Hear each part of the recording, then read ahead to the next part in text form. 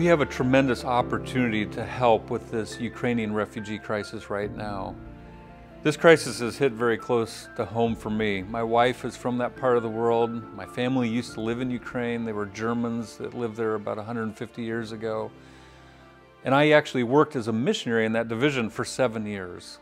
I have many friends, many people that I care about, and many church members now here in Orlando that have family that's suffering there.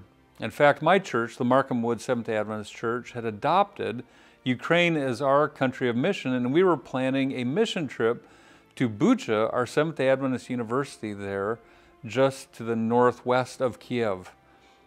That is right now the scene of some of the heaviest fighting in all of Ukraine.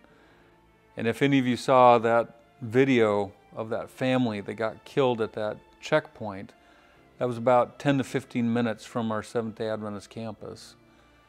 So this isn't just some war in a far-off country. This is a war that has hit very close to home for me personally and for my congregation. And I want to tell you what God has done. We've seen His hand here in the last few weeks.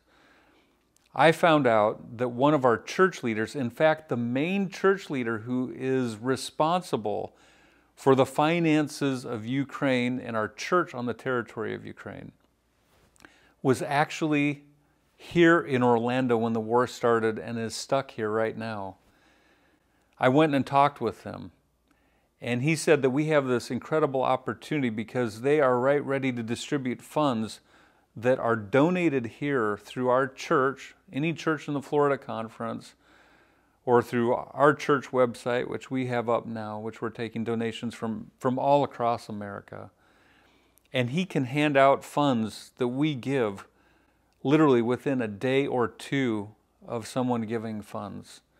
We have tens of thousands of Adventists and other people, their neighbors and church leaders that have left their homes and now they're headed to Western Ukraine. We need money for transportation. We need money for food.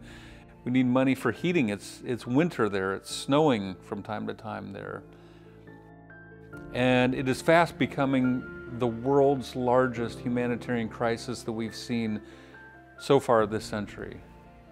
And God worked it out so that the person who is most responsible for giving funds to our Seventh-day Adventist church members was in our backyard.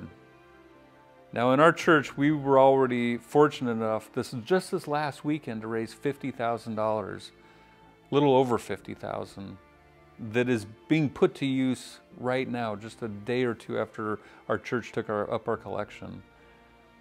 So I would encourage you, if you want to be part of this, and if you're a Christian, I want to challenge you because God could do all of this by himself. He owns the cattle on a thousand hills. But what does he have a church here for? Why are we here? And when a terrible humanitarian crisis occurs on this planet and God wants to help, who does he use? Does he send money via Western Union from heaven? Does he come and help feed these people? He asks us to do it as his hands, his feet, his church.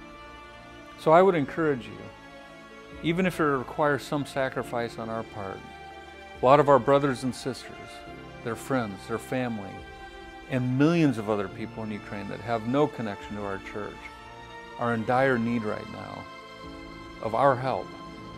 So I would encourage you, make a donation today and let's be a part of being God's hands and feet on this earth.